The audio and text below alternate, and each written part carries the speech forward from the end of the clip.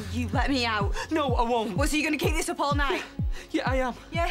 And you think this, this what you're doing now is going to make me change my mind? You said nothing will do that. It won't. Right, okay. Go. But you leave Jack here.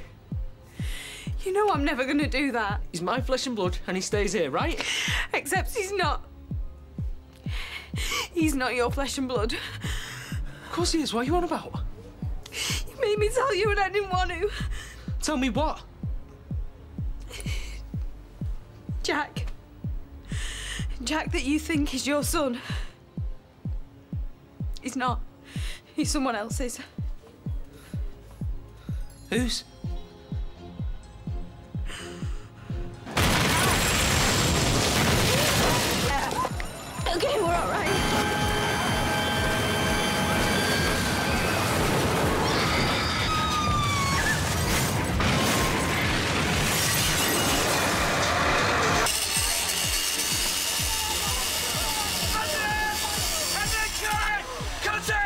Cut it! It's okay, Molly.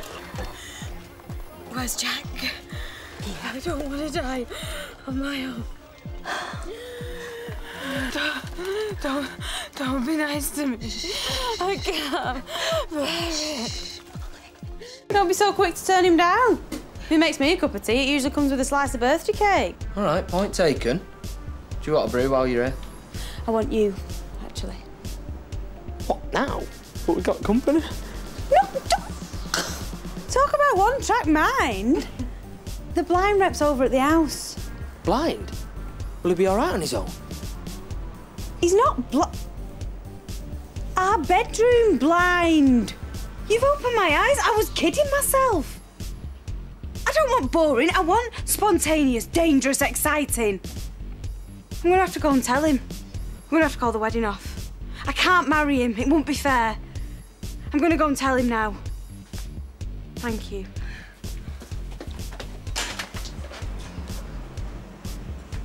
Sucker!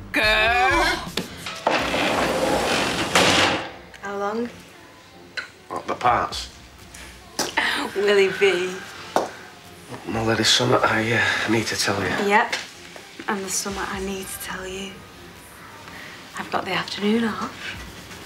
And there's a motel bed with our name on it. I want you, Kevin.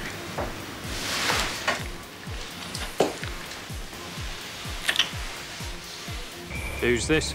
Anne-Marie, How old are you then? 16. Uh, here, fuck.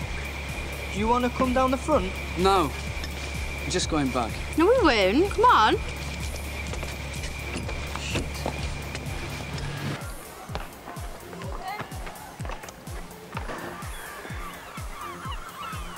Go on. You can fuck me. Don't you fancy me? Don't know. Everyone else does. The last place, he was always having a fiddle.